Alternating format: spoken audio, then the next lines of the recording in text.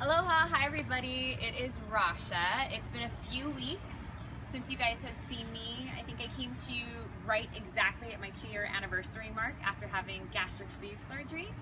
But I, I've been kind of MIA for the past few weeks. Are you, you coming in the video, honey? Oh, yeah. We're outside playing water guns, um, Yeah, and I, see? I realized Squirt. that, hey, don't squirt the phone, don't squirt mama.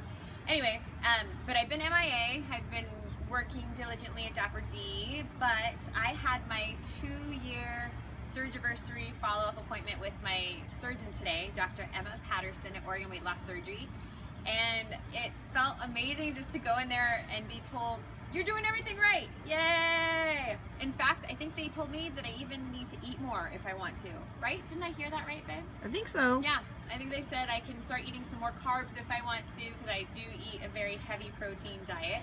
But again, I don't live my life on a diet. I eat what I want when I want, just not huge portions because obviously I can't fit it into my tiny little belly. And it just felt really good to be there. I'm so proud to be one of their spokespeople and to represent healthy.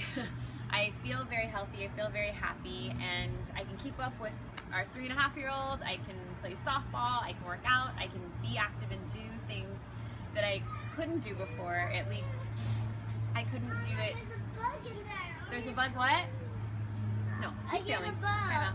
Un momento, por There's a bug in the bucket. Oh, that's okay, it's just a bug. You're Can you get out? Can you get out? Yes, but can you come say goodbye Bye. with me? Well, come here. Melanie, come here. Bye. Squirt, squirt. anyway, I know I'm all over the place. I just wanted to check in. I have lost a total of 135 pounds over the course of the past two years. And for me, it's not Mom, about can the you get number. cashews? What, baby? You can get cashews. Yes, and we'll eat some cashews in a minute. But I'm very happy, and I'll keep coming to you guys probably every couple weeks or so. But if you have any questions, feel free to reach out to me. And just remember that healthy is the new skinny, and that you And look, don't- she can run from water. Hey, Brad! Hey!